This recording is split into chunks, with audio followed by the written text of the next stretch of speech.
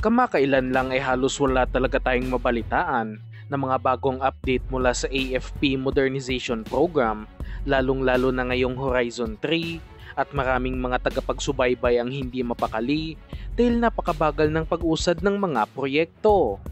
Matatanda ang naglaan ng 40 billion pesos ang Philippine government para sa modernization program ngayong taong 2024 at kung kayo ay nagtataka kung bakit wala pa ding pag-usad, kahit na may malaking budget na inilaan ang gobyerno para dito, ay dahil sa nagamit na ang lagpas sa kalahati ng 40 billion pesos. Ginamit ang pondo para sa pagbayad ng mga taonang installment ng mga in-order na bagong assets ng hukbong senatahan katulad na lang ng 32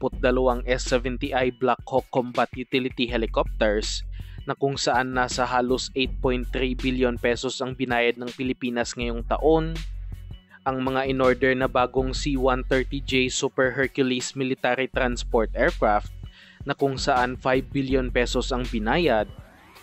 ang nasa anim na offshore patrol vessels mula sa South Korea na nasa 3.7 billion pesos ang binayad ngayong taon, at ang HDC 3200 Corvette na mula pa rin sa South Korea na kung saan nasa 6 billion pesos ang binayad ng Pilipinas dito. Kung isasama pa ang ibang projects, nasa lagpas 30 billion pesos na ang nabawas na pondo para sa modernization program ngayong taon at nasa halos 10 billion pesos na lang ang natitira at wala pa ni isang bagong napirmahang proyekto ang hukbong sa natahan. Ngunit sa bagong magandang balita mula sa Max Defense, sinasabing dinagdagan ng nasa 10 bilyong piso ng gobyerno ang kasalukuyang budget ng modernization program kaya malaki ang tsansa na matutuloy na talaga ang pagbili ng fighter jets ng Pilipinas. Ito ay base sa inilabas na dokumento na kung saan makikita na noong 2023 ay nasa 27.5 billion pesos ang inilaan na budget sa modernisasyon, samantala ngayong taong 2024 naman ay nasa 15 billion pesos na ito na halos doble ang nilaki kumpara nitong nakaraang taon lamang at sa pamamagitan nito ay kaya ng bayaran ng Pilipinas ang 15% down payment na kinakailangan sa pagbili ng makabagong multi-role fighters. Ngunit hindi pa sinabi kung ang Just 39 Gripen nga ba ang bibilhin o ang mga F-16 Vipers mula sa Estados Unidos at kung ano man ang mapili dito ay malaking panalo pa rin para sa ating hukbong sandatahan. Dagdag pa ng Max Defense kaya wala umano tayong masyadong nababalitaan na bagong mga napipirmahang mga proyekto ngayong taon dahil nakapokus ang Department of National Defense para sa pagbili ng multi-role fighters at ang matitirang pondo ngayong taon ay mapupunta sa pagbili nito. Nasa halos 20 billion pesos ang inaasahang matitira sa pondo kaya kapag mapili ng Pilipinas ang mga Just 39 Gripen na nagkakahalaga ng 63 billion pesos ay kaya na ng ating bansa na magbigay ng 15% down payment na nasa 9.5 billion pesos. Samantalang kapag ang mga F-16 Vipers naman ang mapili na nagkakahalaga naman ng nasa 120 billion pesos ay kaya pa din itong bilhin ng Pilipinas dahil nasa 18 billion pesos ang 15% down payment sa naturang aircraft. Itong dalawa na lang dapat ang pagpilian ng Philippine Air Force at wag nang mag-aksaya ng oras sa mga iba pang offers katulad na lang ng mga FA-50 Block 20 ng South Korea dahil ang isang squadron nito ay nagkakahalaga ng halos 50 billion pesos na halos kasing presyo na rin ng mga Just 39 Gripen ngunit ang mga ito ay mga light combat trainer aircraft lamang.